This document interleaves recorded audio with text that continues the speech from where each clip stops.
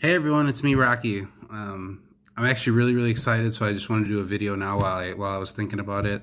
Um, the biggest reason why I'm really excited is because of, of, an organization called Best Christmas Ever.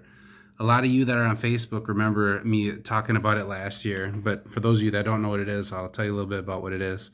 It's a nonprofit organization that that finds families in our community that have fallen on hard times due to no fault of their own, and they give them the best Christmas ever.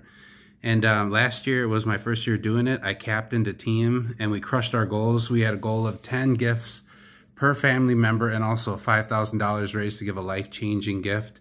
And we actually raised 6000 And what we used that for last year, well, we, we also bought other gifts on top of it that to, to, to fill all 10 gifts because not all 10 gifts got bought, but we ended up buying them with that. And then what was left over, we actually booked a trip for the family, which worked out great because we didn't know at the time, but that ended up being the, the last trip that the family took together. And that was the last Christmas that the family spent together.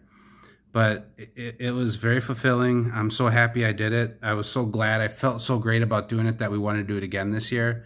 And we are. I'm captaining another team, and I'm really excited to share a little bit about the new family with you guys. Um, it's it's a local family. Some of you guys might actually know the family, so please keep it a secret because I've noticed that I do have mutual friends.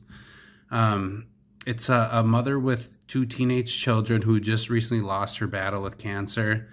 This is going to be the first Christmas that the that the kids will spend without their mother. So we want to do everything we can to give them the best Christmas ever.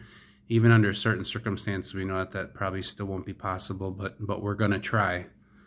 Um, I'll have a link in this video of how you can help. We're going to set up a giving tree virtually this year. Last year we had it at Nutrition Cave in Woodbury. This year we're going to do an Amazon wish list. So please visit visit there. Check out the gifts that we're going to have. Um, if you could purchase one, I know that, that there's going to be some deals this weekend. And with Cyber Monday going on, there might be even more deals. I, I don't know. Or uh, you can also help financially because we, we want to give this family a, great surprise. I've got a pretty good idea of what we'll do. I can share it later, but again, I do not want this to leak out. It, it, we want this to be a surprise. Um, yeah, stay tuned, guys. Talk to you soon.